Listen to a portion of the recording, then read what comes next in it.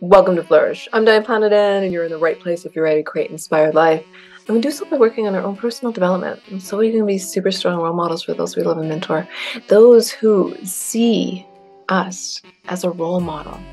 Those who look to us for inspiration and what living an inspired life can truly mean. Today, we are on the fifth tip in Maslow's Becoming Yourself, being self actualizing.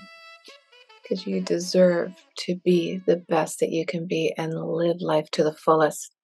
So here we go. He says, fifth, we have talked so far of experiencing without self awareness, of making the growth choice rather than the fear choice, of listening to the impulse voices, and of being honest and taking responsibility. All these are steps towards self actualization, and all of them guarantee better life choices. A person who does each of these little things each time the choice point comes will find that they add up to better choices about what is constitutionally right for him or her. He becomes to know what his destiny is, who his wife or husband will be, what his mission in life will be. One cannot choose wisely for a life unless he dares to listen to himself, his own self, at each moment in life and to say calmly, No, I don't like such and such. The art world, in my opinion, he says, has been captured by a small group of opinion and tastemakers about whom I feel suspicious. That is an ad hominem judgment, but it seems fair enough for people who set themselves up as able to say, You like what I like, or else you are a fool. we must teach people to listen to their own tastes. Most people don't do it. When standing in a gallery before a puzzling painting, one rarely hears, That is a puzzling painting.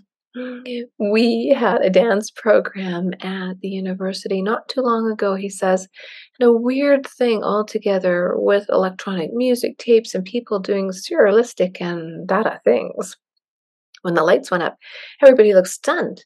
Nobody knew what to say in that kind of situation, most people will make some smart chatter instead of saying, I would like to think about this. Making an honest statement involves daring to be different, unpopular, nonconformist. If clients, young or old, cannot be taught about being prepared to be unpopular, counselors might just as well give up right now. To be courageous rather than afraid is another version of the same thing. That reminds me of a little fable in the emperor's clothes. The emperor got new clothes and he strode around town showing off these new clothes. Look at me. Don't you love my new clothes? Can't you see how fabulous I look? Well, long story short, the emperor wasn't actually wearing clothes.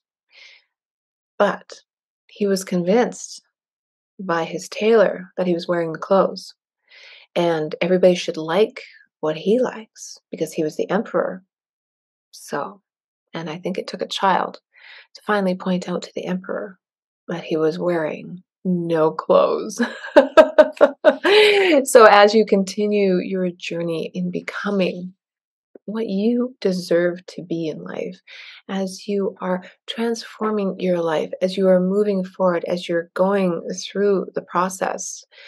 Sometimes you're going to have to not listen to what other people say, especially if they're the popular kids in high school. They've already peaked, right? Forget about it. They've peaked in high school. That's not for everybody. I'm just saying it was my high school. Okay. There it is. I'm out there.